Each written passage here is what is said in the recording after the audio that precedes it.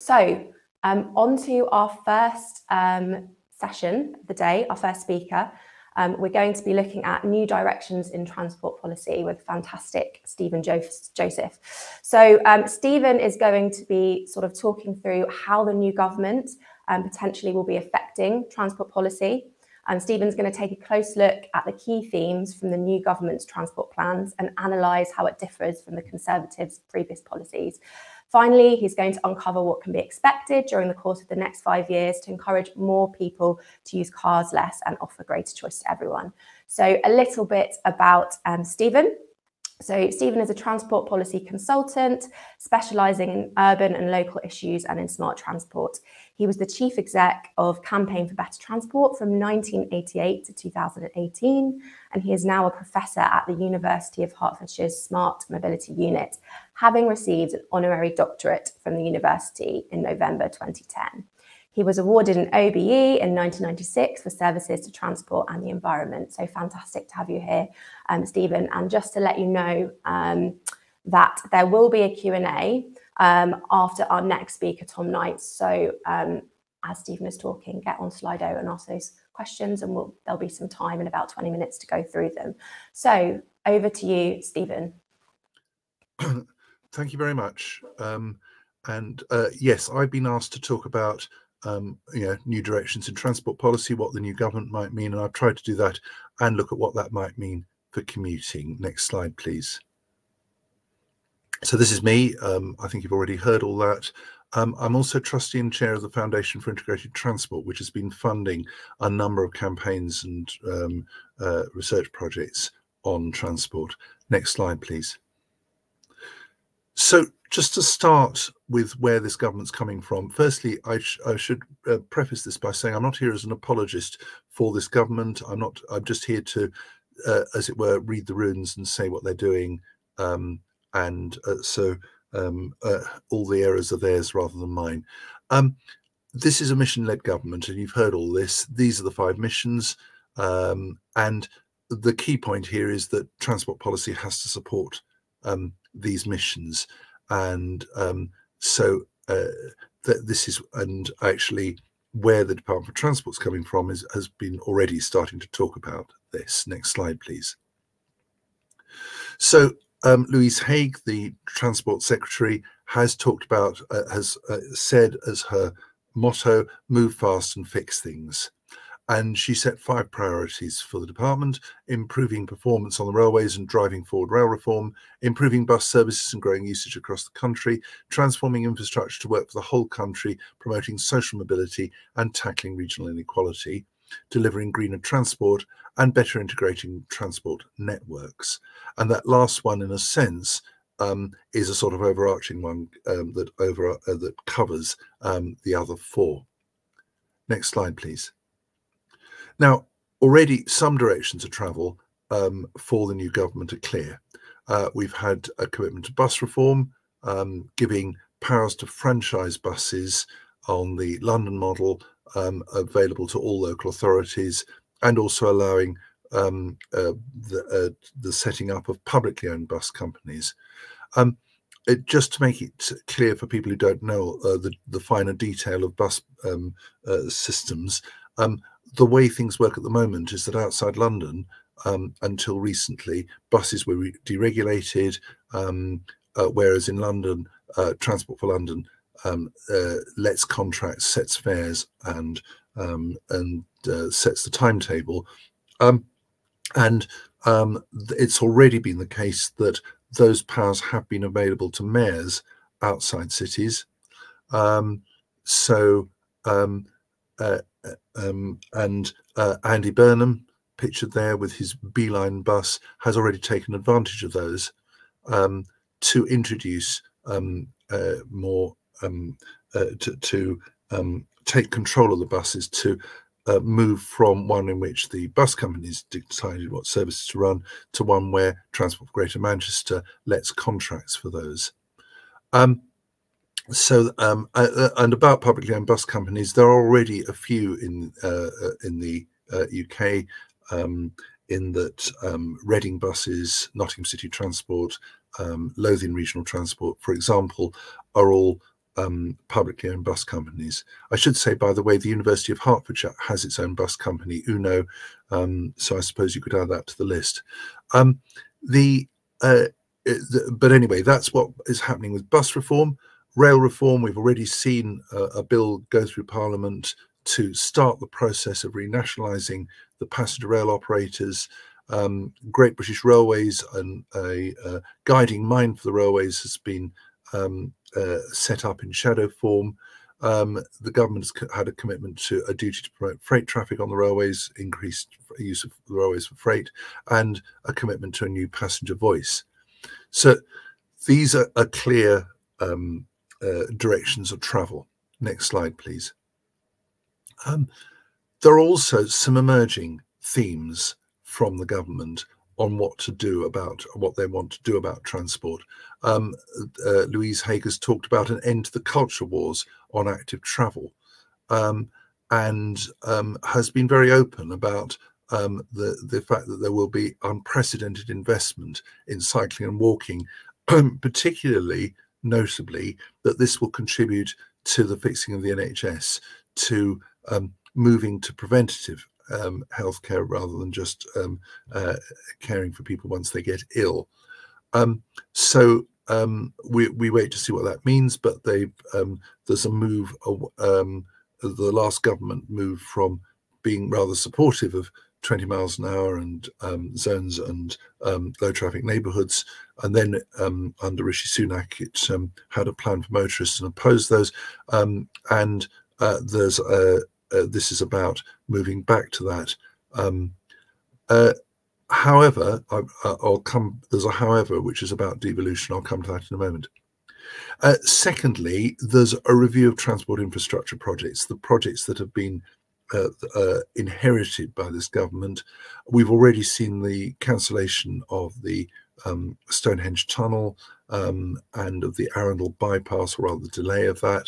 Um, but um, there's a, a, a, full review going on. A panel of advisors um, uh, is reviewing the, the schemes that have been uh, inherited um, and making recommendations on what should happen to those. Um, uh, thirdly, um, there is a move to create a national integrated transport strategy, which I know has been talked about a lot. Um, uh, but uh, anyway, there, there is now a team being put in place. Um, Danny Williams, who has been running Active Travel England, um, is heading that up. Um, and there'll be a team inside the Department for Transport to create such a strategy. The idea is that this will not be a huge strategy. It will move fast um, with a view to getting something in by um, next summer, um, uh, but with implementation plans to follow. And there's also a commitment to a road safety strategy, which we haven't had for a while.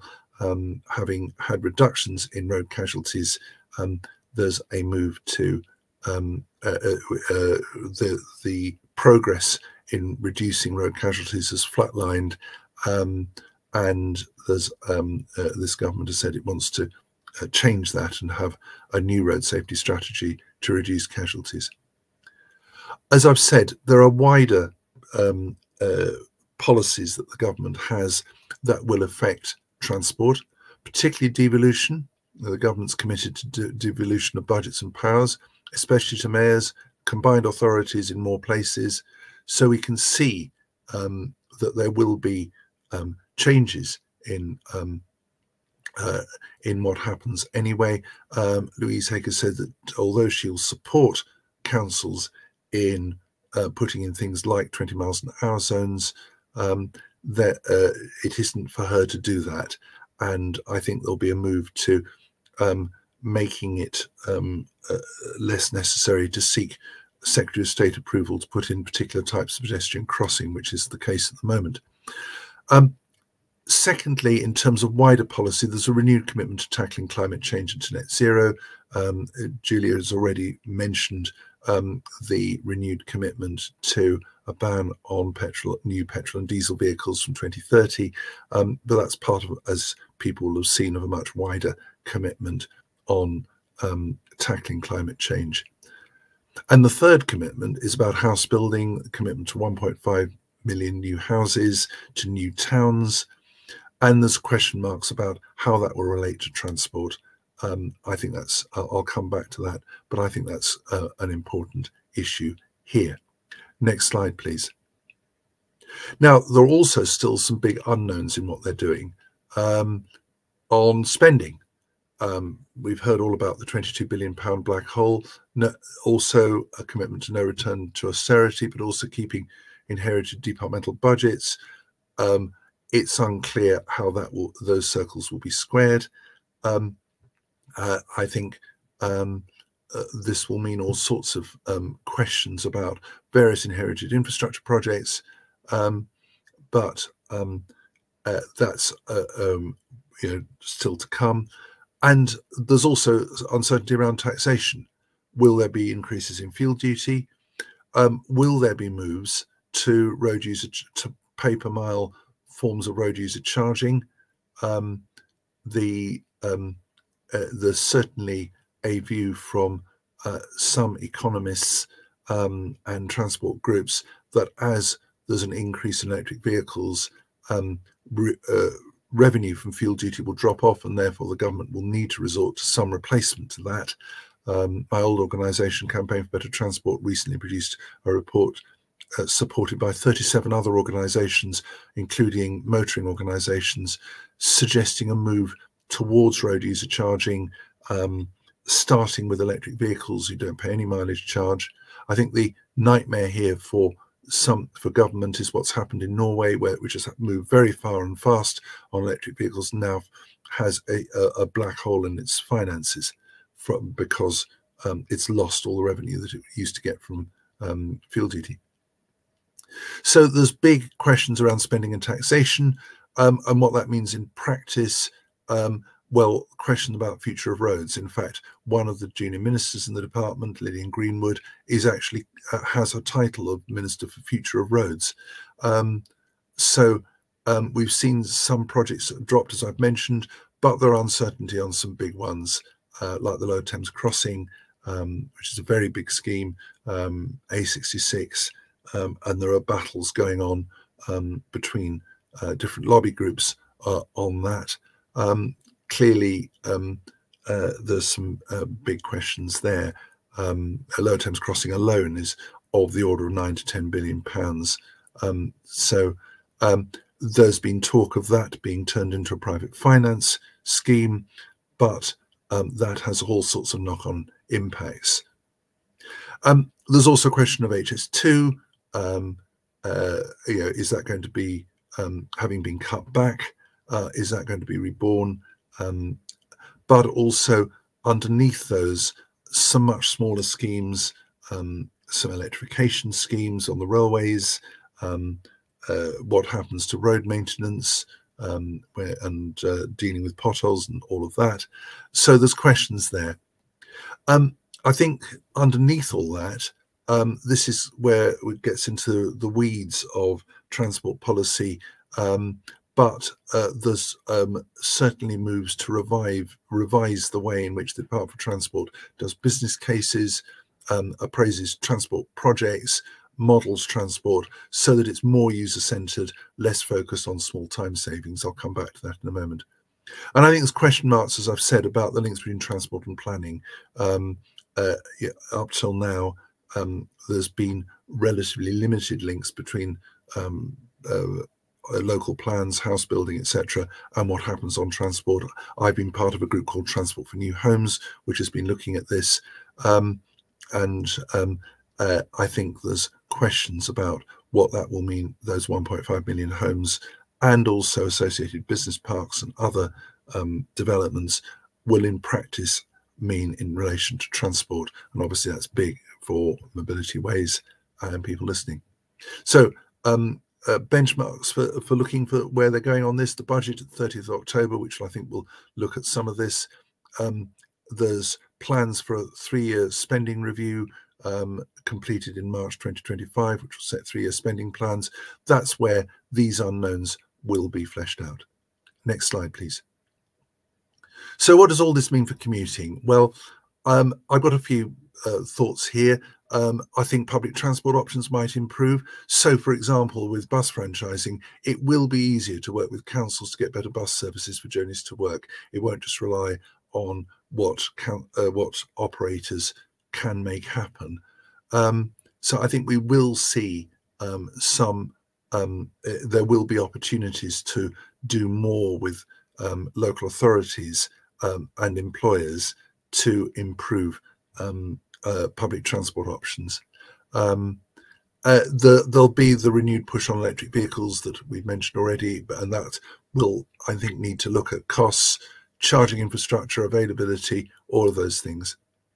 Um, and I think we'll we will see more investment in active travel routes. Um, uh, uh, Louise Haigh, as Transport Secretary, has been very clear about that, um, and that will include uh, for journeys to work. So there are opportunities there in relation to commuting. Next slide, please. But I, I, think there are also some opportunities for change. This is my list of things that might make a difference um, and which might be things that Mobilityways and others might want to push for. So I think there's opportunities to change the tax system so it rewards zero carbon commuting uh, for car sharing, more tax recycle allowances, tax-free season tickets or travel cards, um, as happens in the US, for example, and in Ireland, those are opportunities that could be taken. Um, um, and I think um, the last government, in when it had a transport decarbonisation strategy, talked about um, a commute zero partnership to bring together employers, councils, government, employees, um, to bring together those that wanted to reduce um, uh, to, to, move towards zero carbon commuting. Um, and that sort of got lost. Um, I think there would be an opportunity to resuscitate that um, and make something work. Um, on that, um, affordable fares. The Germans and Austrian governments have uh, produced what, they, what the Austrians call a climate ticket, a cheap public transport ticket, and actually Greenpeace have just done, had a piece of work which the Foundation for Integrated Transport Part funded, looking at how you might make something like that work here, and you can imagine how that might work in the context of um, uh, uh, employers and commuting. And I think there's a, a, a topic um, I, Ali and Ali Clabburn and I have discussed this many times about changing the way in which transport modelling is done so it counts people rather than vehicles so that in looking at say a motorway you don't judge its success on how many vehicles are going past but how many people are going past and giving those running the motorways or, or, or roads incentives to reduce um, car um, to introduce car sharing to support coaches and so on those are just a, a set of um, uh, ideas for um, uh, that you might want to see uh, that would follow from what the government said so far. Um, next slide, please. Um, so here's a list of things that might move away from car dependence, less car-based development, better public transport, making cycling a real option, and so on. Uh, transport can be better and greener, um, uh, but the, these are things that might work. Um, next slide, please. And so, conclude, uh, in conclusion, there is a new government. It has announced some new directions in transport policy within its missions. Uh, wider policies, for example, on decarbonisation, devolution and planning will have impacts on transport. Some big decisions lie ahead, especially on spending and taxation, and especially on roads policy and the management of the roads. And within all of this, there will be opportunities to promote, promote zero carbon commuting and Mobilityways and others can pursue these. Next slide. Thank you very much there's some contacts. Thank you very much, Stephen.